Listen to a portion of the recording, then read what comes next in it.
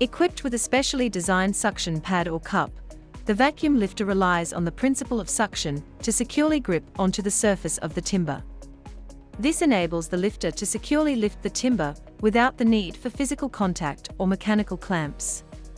This innovative lifting mechanism streamlines the handling process and minimizes the risk of damage to the timber.